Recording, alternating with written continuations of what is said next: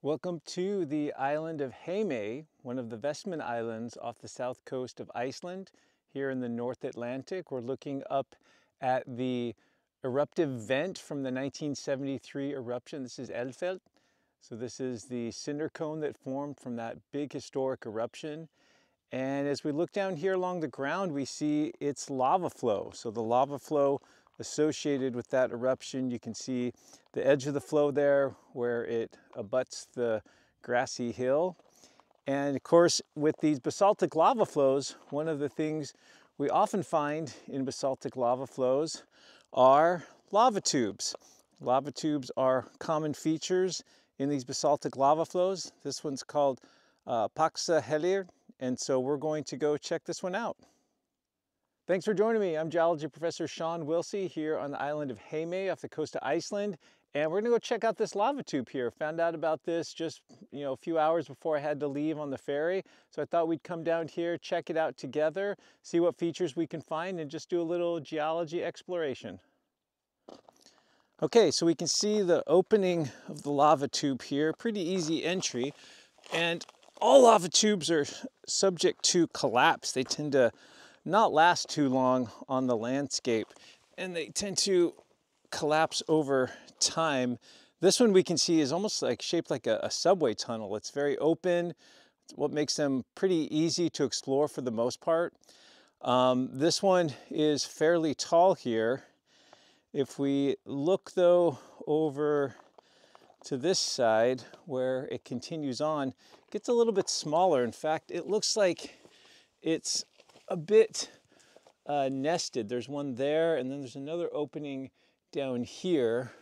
If we kind of peer into this one, I do have a flashlight, but not a helmet.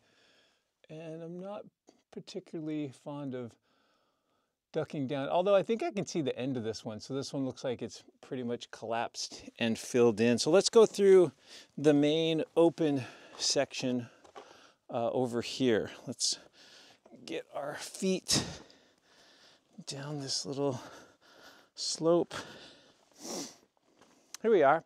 Oh, and so we can see that the roof is actually collapsed in uh, right here, forming a skylight. So you can see that opening there in the roof of the lava tube.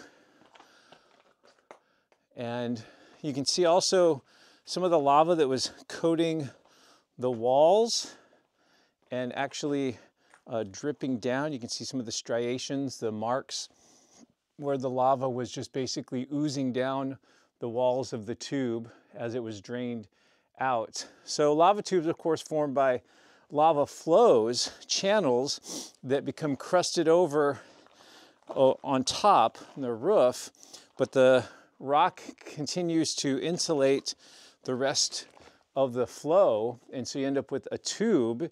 And then once the lava supply wanes, when the eruption is ending, that's when the tube gets hollowed out.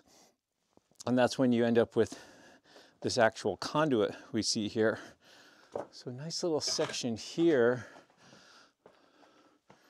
Um, let's see, some other cool features along the wall. Again, more of the, the striations here where the lava flow is dripped back down uh, into the interior. And then it looks like it opens back up again after a short distance. So we'll look back behind us there. See the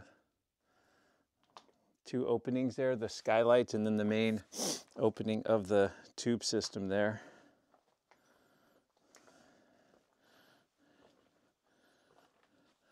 Nice pahoehoe type uh, ropes on the floor of the cave. And then it opens back up. Let's see if we if there's a continuation of this flow further on. Again, all from 1973. Pretty incredible lava tube that's quite young. Yeah, so it looks like this section's collapsed. You can actually see we're probably in part of the lava channel where the tube completely collapsed here with all this rubble.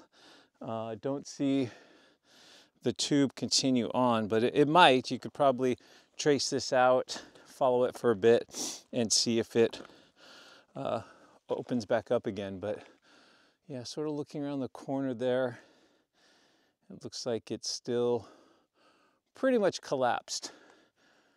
Well, thanks for joining me on this short little excursion here, just checking out this lava tube from the 1973 eruption on the island of Heimaey. Thanks so, so much for your support of the channel, and we'll see you next time. Take care.